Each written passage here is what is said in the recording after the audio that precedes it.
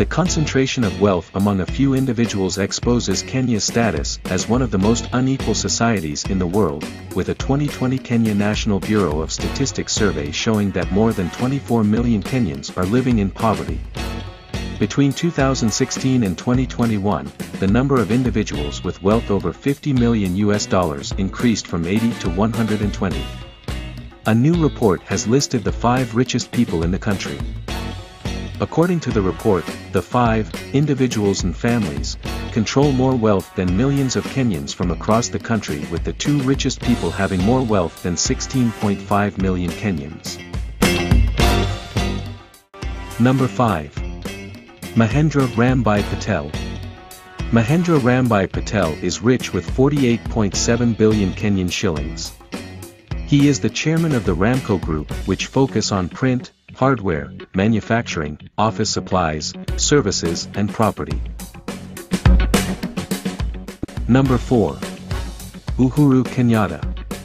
Uhuru Kenyatta, and in extension the Kenyatta family, has a wealth that stands at 60 billion. The Kenyatta family, who have been dominating the rich people list, have investments across diverse markets including banking, manufacturing, processing and telecommunication among others. Number 3. Jaswinder Singh Bedi. Jaswinder Singh Bedi is textile manufacturer with wealth of 77.1 billion Kenya shillings and the CEO of Bedi Investments. Number 2. Bhimji Depar Shah. Bhimji Depar Shah founded Bidco Group of Companies, and now controls a fortune of 85 billion Kenya shillings. Number 1. Samir Naushad Merali. Samir Naushad Merali is the son of the late billionaire Naushad Merali.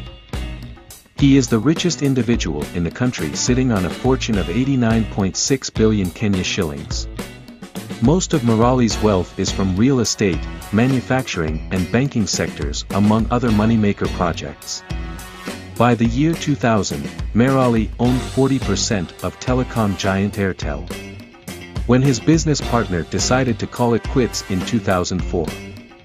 Merali convinced his partner Vivendi, who had the majority shares, to sell him their 60% stake for 230 billion Kenyan shillings. An hour later, Merali sold the 60% stake to billionaire Mzuri Ibrahim Celtel with a profit margin of 1.6 billion Kenyan shillings.